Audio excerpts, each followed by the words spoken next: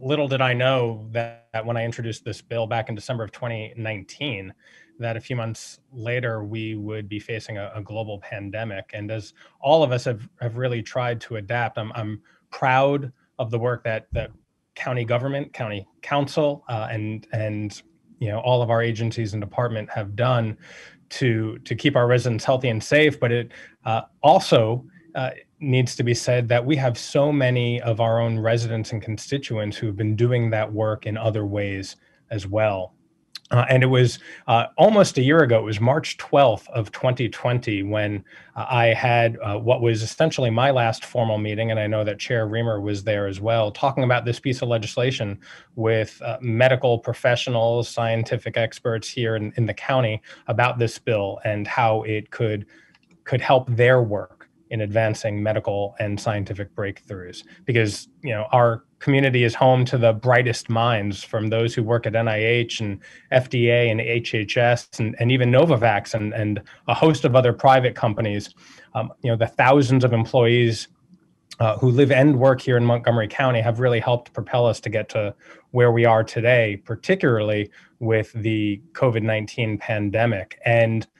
you know, with, with uh, what I hope will be the passage of this bill in, in a few minutes, the Oversight and Small Business Investment Act. You know, we are ready to to help even more entrepreneurs who receive federal grants from the Small Business Innovation Research and also the Small Business Technology Transfer Grant Program, uh, so that they can continue doing their R&D work here in Montgomery County. And that work is going to be applicable for the life sciences, biotech, and medical uh, sectors. Uh, and uh, as was said,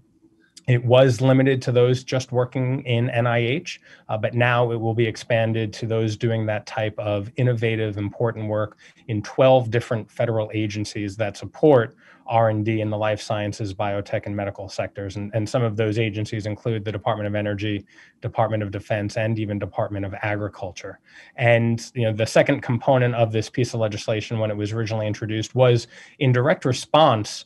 to an Office of Inspector General report, which identified the lack of formal contracts and agreements in the SBIR and STTR programs. And so now this legislation will require beneficiaries of those programs to enter into written, to, written agreements uh, with the county uh, so that we can better protect taxpayer resources, uh, investments into